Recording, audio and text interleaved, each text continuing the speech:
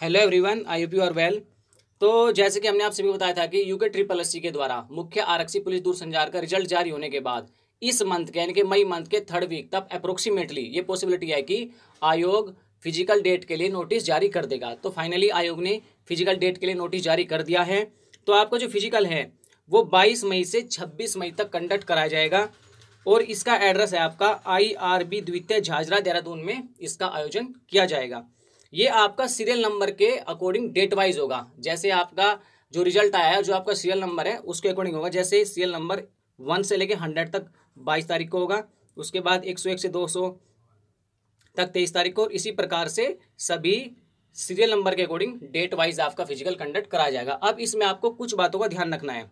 जब आप फ़िज़िकल के लिए जाएँगे तो सबसे पहले इसमें देखिए फोर पॉइंट को आप स्टडी कर लीजिए अच्छे से। इसमें स्पष्ट तौर पर लिखा हुआ है शारीरिक माप जोग परीक्षण हेतु चयनित अभ्यर्थी को अपना लिखित परीक्षा हेतु जारी प्रवेश पत्र।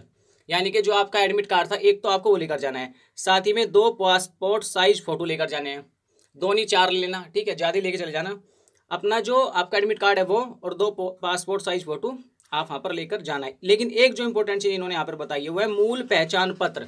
यानी कि इनके साथ आपको मूल पहचान पत्र साथ लेकर जाना है। देखिए, एक तो होता है पहचान पत्र, जैसे आधार कार्ड, पैन कार्ड, कुछ भी होता है, लेकिन जो मूल पहचान पत्र होता है, मूल पहचान पत्र में आपका वोटर आईडी कार्ड, ये आता है। तो आपको वोटर आईडी कार्ड और आपका आधार कार्ड दोनों साथ लेकर जाने हैं। कहीं ऐसा हो कि आप वोटर आईडी कार्ड को छोड़ दो और आधार कार्ड ले जाओ, बाद में वहाँ जाओ तो ये इशूज़ हो जाए कि कि आपको मूल पहचान पत्र यानी कि वोटर आईडी कार्ड साथ में लेकर आना था, फिर आपके सामने प्रॉब्लम क्रिएट हो सकती है। तो आप वोटर आईडी कार्ड और आधार कार्ड दोनों ही साथ लेकर जाना। तो ये थी इस वीडियो में कुछ जानकारी।